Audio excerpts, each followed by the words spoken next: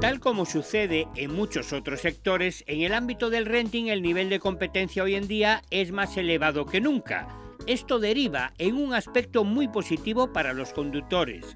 Constantemente hay todo tipo de oferta renting, por lo que es posible dar con algunas cuyas condiciones son realmente buenas, sin que se exija pagar un precio desorbitado.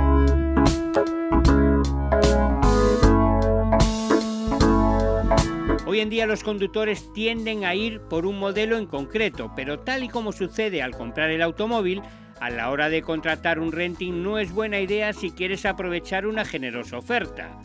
Lo que te recomendamos en CDRAS es que seas flexible en la medida de lo posible. Por ejemplo, ¿te gustan los sub? Entonces busca ofertas de este segmento, pero no te centres en un único modelo o en una marca concreta.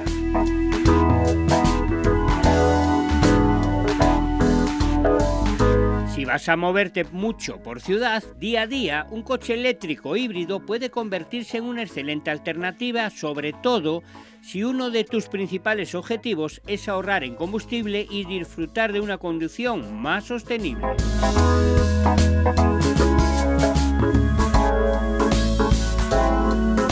A su vez, has de valorar si el uso que le darás será solo para trabajar o también harás otro tipo de desplazamientos.